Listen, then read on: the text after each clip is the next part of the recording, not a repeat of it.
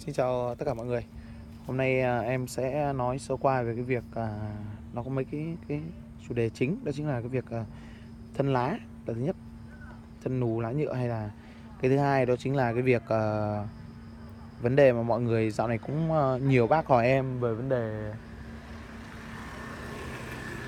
các vấn đề như là chuyển mùa này, hai là vấn đề về ra hoa năm tới. Và cái hàng thân lá thì đợt này phi đẹp thân lá nó rất là đắt. Thì cũng có thể do là cuối năm hoặc là hay cái gì đó đại loại là thị trường bây giờ đang rất là sôi động vấn đề đó. Thì hôm nay em sẽ nói trước về cái vấn đề thân nù lá nhựa này. Thì đây là có một cái cây nó rất là nhiều nắng. Bởi vì có nhiều bác chia sẻ là cái việc à, sang năm ra hoa ấy, thì là nó sẽ uh, nó sẽ sẽ sẽ cái vấn đề là phải nhiều nắng. Thì thực ra cái cây này em nuôi nó cứ đều đều đều. Quanh năm cứ đều đều dưới cái lưới 70 phần trăm. Cái lá nó vẫn rất là dày. Còn thân kiểu dạng thân nù to này thì nó là dạng mình chăm tốt thôi. Và cái việc nữa đó chính là cái thân đây này. Mọi người nhìn ạ. Anh chị nhìn đấy. thân lá là nó dừng ngọn rồi. Cái việc nó dừng ngọn rồi ấy, thì nó sẽ to thân. Nó sẽ to thân ra. Chứ nó không thể là nó nó, nó dài nữa. Bởi vì mình vẫn cho ăn đều mà.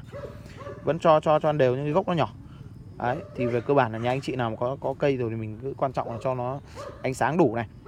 Uh, độ ẩm đủ này. Và cái vấn đề đó chính là phân bón với các thứ đấy bởi vì mình không thể như tự nhiên được. Đây là cái kia năm ờ, kia này hình như kia năm nhất kia năm nhất đúng không ạ? Đây ạ đây là cái năm nhất. Em buộc dựng nó lên thôi nhưng nó là kia năm nhất. Các bác nhé. Đây bên, bên, bên này mọi người nhìn rõ hơn đây là kia năm nhất này. nó có đoạn thân già dưới đấy ạ. Đấy thì nó đều kim nam nhất thôi nhưng mà cái việc là mình cứ trồng được thôi. Quan trọng là mình trồng được thì nó sẽ thân nó sẽ dạng thân nù lá nhựa.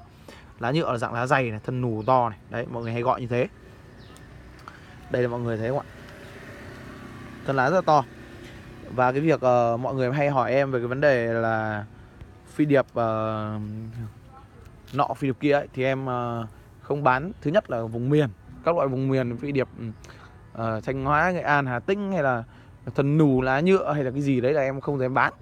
Bởi vì tất cả cái những cái này là do mình uh, mình nuôi quan trọng là mình nuôi ấy, mình nuôi tốt ấy, thì lá nó cho nhiều phân ấy, lá nó dày và cái việc là nó dừng ngọn này nó dừng ngọn mà nó không dài nữa ấy thì thân nó sẽ phình nó rất là rất là lớn. Đây mọi người nhìn ạ. Đấy, phình rất là to bởi vì nó dừng rồi mà. Thì từ bây giờ đến cuối năm ấy thì cái thân này có thể nó sẽ to hơn ngón tay của em và nó có thể là đạt đến cái tầm độ uh, khoảng tầm độ gì đó khoảng tầm độ hơn một sen hoặc là bây, bây, bây, như bây giờ nó cũng phải tầm hơn một sen rồi. Sen mốt rồi. Đấy nhưng mà to hẳn vào cái tầm độ mà mọi người hay gọi là F18 21 ờ, có nghĩa là đo theo cái phi tuyếp nước ấy tỷ lệ ạ. Đấy thì có nghĩa là tù đầu rồi mà mình vẫn cho ăn nhiều ấy là nó sẽ to. Vậy thôi. Các anh chị nhá. Còn cái dạng phi điệp chấm này hay là thân tím này hay thân xanh sạch thì em vẫn quy nó là về một dạng. Ví dụ như đây cây này. Đấy thân lá nó trông như cây di linh trắng. Thực ra cây này nó chỉ là cây uh, phi điệp tím thôi chứ nó cũng không có cái gì gọi là quá đặc sắc cả. Tất cả những dạng phi điệp ừ, thân lá xanh sạch này hoặc là thân lá hồng này hay là một cái gì đó mà người ta gọi là số số ấy thì tốt nhất là mọi người cứ nên quy nó về là phi điệp tím. Bởi vì uh, nó em không đi mua những cái cây nào mà nó thân xanh sạch mà giá trị cao hơn phi điệp tím cả. Trừ khi nó là hàng sổ số mà hàng rừng về thì có thể là mình sẽ mua đắt hơn tí khoảng tầm tầm độ. Ví dụ như một một cái mầm này thị trường bán chắc là như em bán ở cái cây này ở cửa hàng ấy, chắc khoảng tầm trăm rưỡi một trăm rưỡi đến ờ, hai trăm nghìn dạng thân to thân to đẹp thì em bán à, giá cao còn thân nhỏ thì em bán rẻ. Thì nó là do nuôi. Thì ví dụ như cái này em bán tầm độ trăm rưỡi một mầm này. Trăm rưỡi một mầm thì nó dài khoảng tầm 10 15 cm thì đấy. Thì cái việc uh, thân xanh sạch ấy, thì em chỉ mua tầm 200 200 rưỡi 300 đấy là những cái mà nó thuần chậu này trồng nó rất dễ mà. Đây đây đây là kỳ cái năm nhất này năm hai của nó đấy ạ. Kỳ năm nhất nó là bé. Kỳ năm nhất mọi người nhìn ạ rất là bé. Kỳ năm hai thì nó đã dài khoảng tầm độ 10 10 cm này chặn dế thì đấy là những cái mà phi điệp tím. Em nói là đây ví dụ như cái này. Cái này bọn em trồng lại. Đây thân rất là nhỏ nhá mọi người nhá. Thân rất là nhỏ. Nhưng mà đây là khi khi mà nó dừng ngọn thắt ngọn cái nó rất là to này. Đây là mới thắt ngọn. Và cái vào dịp cái đầu tầm độ tháng 10 đầu tháng 10 như này ấy, thì nó đến cuối năm nó còn to nữa. Bởi vì nó sẽ ăn đến tầm tháng 11 tháng 12 mà. Đấy thì còn là là là cái việc thân uh, nù lá nhựa hay là cái thân to đấy còn cái dạng em vẫn nói là cái dạng lá mít là cái dạng sưu tầm. Dạng lá mít thì nó không phải là cái dạng mà mà mình mình mình uh, có thể nói là ấy được mà nó là gen. Còn những cái dạng mà thân lá đẹp như thế này thì nó chỉ là uh, phi điệp tím bình thường. Đây mọi người thấy ạ đấy phi điệp tím. Thì những cái chấm như thế này thì nó cũng chỉ là phi điệp tím bình thường thôi. Nhưng mà mình đi bắt sổ số thì có thể là một số những cái mà mình ở nghiên cứu ví dụ như là cái nào nó có sắc tố giống cái nào đấy. Nhưng mà cái thường thì cái sổ số nó rất là thấp. Tỷ lệ sổ số rất là thấp. Đấy thì uh, đây là những cái vườn cây nhà em thì nó rất là nhiều cây. Đây ví dụ như cây cây cây này cây này nó gần gần này. Đấy thì nó dạng xanh sạch. Xanh sạch dạng như này thì đây mọi người nhìn ạ. Đấy xanh sạch em rất là nhiều. Nhưng em không bán bởi vì em bán cho anh chị nó chỉ phim tím thôi. Chứ chẳng có gì cả. Phim tím. Nhưng còn với anh chị buôn thì em lại không bán bởi vì là người đi buôn ấy là đừng hỏi mua của em ví dụ anh chị mua một kỳ này, khoảng tầm độ uh, giá nó như phi tím mà cái gì đâu tầm trăm nghìn. Đấy ví dụ thế. Còn những với anh chị buôn thì rất nhiều người muốn mua cái loại xanh sạch như này về bán các thứ nhưng em không bán. Bởi vì uh, uh, sẽ rất là ảnh hưởng đến nhiều người mà người ta chơi sau rất là dễ bị lừa đảo nhầm lẫn đại loại như vậy. Nhưng mà em thì em không bán cái loại uh, thân xanh sạch đấy. Thân xanh sạch anh chị có thích siêu tầm thì nó giá nó như phi điệp tím thôi. Thì mọi người mà thích thì em cũng có thể chia sẻ với những cái giá nó chỉ tầm độ trăm rưỡi thôi. Đấy trăm rưỡi kia thì nó thân thân, nó dạng dạng vậy, nhìn chung nó dạng dạng thế. Đấy, thì còn những cái thân này nó chưa tù đầu này thì nó sẽ nhỏ này. Thân là còi, mọi người thấy không ạ? Còn thân xanh sạch hay là thân nọ, thân đỏ, thân đen các thứ đây, ví dụ như cái này thế thôi thân nó rất là tím. Mọi người thấy không ạ? Đây, em để em nhấc xuống này. Đây, thân khá tím. Em quay buổi tối này là chiều chiều muộn này là nó hơi khó nhìn một chút. Đây loại là cây này nó là một cái cây phiệp tím, thân khá tím, nhưng mà nó cũng chỉ như những cái cây phiệp bình thường thôi. Thân tím hay là thân dạng lá tre hay là các thể loại trên đời. Lá xanh sạch thì nó cũng chỉ là phiệp tím đấy, đây, ví dụ như đây đến một cái cây này. Mọi người nhìn đấy không? Đấy cái cây này thì xong này quay nó hơi khó hơi khó nhìn. Em cảm giác nó hơi khó nhìn một chút. Đây, ok. Nhìn dễ hơn đấy. Đây anh chị có thể nhìn đấy đây là cùng hai ki nhá. Cùng hai ki thì cái ki ki này nó tù đầu này. Nó rất là to nó dạng lá nó rất là dày bởi vì mình cho ăn nhiều nắng mà, quanh năm mà. Không phải quanh năm nhiều nắng đâu, nó bảy, em che lưới 70 phần trăm thôi. Đây, nó dạng thân nó rừng ngọn, nó phát triển vẫn rất là to. Mà đây là em chưa cho phân cho phân thì nó sẽ to hơn. Đây thì cái cây bên cạnh cùng loại đấy ạ. Cây bên cạnh cùng loại nhá, nó chỉ là dạng à, thân lá trông đẹp đẹp, xanh. Nhìn chung nó xanh tốt. Thì những cái cây này thì dù thân tù đầu này nó to hay là những cái này, thì em bán thì nó cũng như nhau. Đấy, bởi vì về nó còn phát triển và hoặc là khi mà nó tù đầu ấy anh chị phải hiểu là mặc định là khi nó tu đầu rồi thì nó sẽ rất là to. Còn khi mà nó còn dài ấy, thì nó phát nó sẽ phát triển độ dài của nó chứ nó không phát triển về cái vấn đề là to thân. Đấy còn khi mà đến cái mùa tầm tháng 10 này thì nhiều cây đã dừng rồi thì là nó sẽ phát triển to thân rất là nhiều. Thì đây thì ờ, bởi vì em cũng có không phải là ít số lượng cây rất là nhiều mọi người thấy nhiều lắm. Thế nên là cái việc mà cây cối nó abc thì nó đương nhiên. Đây ví dụ như cây cái này này cái này nó khá to này, nhưng nó vẫn còn đi ngọn này. Đấy. Thì những cái mà ví dụ như những cái cái nó tù đầu rồi thì nó sẽ nó sẽ ok hơn. Nó sẽ sẽ sẽ to mập. Đấy, còn như cái này ở đây, thân sạch sạch. Đấy, mọi người nhìn thân sạch sạch sạch tinh, không có gì, bởi vì em đi bắt số số nhiều rồi, toàn trượt. Em không muốn mọi người bắt nó chưa trượt nữa. Toàn phi tím mà có gì đâu. Đây, dạng cái cây này thế này. Đây, cùng một cây này. Đấy, cùng cùng cùng loại đấy, nhưng cái cây này thì lá nó khá đẹp. Đấy cây này lá khá đẹp không bị đột biến hay gì nữa chả biết. Đấy đại loại là cái dòng thân lá to nhựa lá dày này mọi người cứ phải trồng tốt. Tại sao mà hàng công nghiệp nó về nhiều nhiều nhiều anh chị sẽ bị nhầm cái vấn vấn đề đó chính là mua hàng công nghiệp nhưng mà bị uh, người ta gọi là hàng rừng ấy. Có nghĩa là dạng thân nù lá nhựa ấy các thứ đấy. Đấy thế nên mọi người chú ý đừng tránh tránh tránh mua. Cái vấn đề nữa là hôm nay em nói đến cái việc uh, giao mùa giữa các uh, giữa các uh, giữa các uh, mùa ấy thì nó ở miền Bắc ấy, nó sẽ phù hợp vào cái việc chính là um, mùa sang mùa thu này thì nó có thể là sẽ hanh khô và có thể là sẽ sẽ lạnh. Thì mình có thể phun những cái thuốc để nó phòng chống những cái bệnh như là uh, chống sốc này chống sốc hoặc là những cái bệnh uh, chịu uh, những cái thuốc uh, có tác dụng là chịu lạnh chịu hạn này. Đấy để cho những hôm uh, trời hanh khô.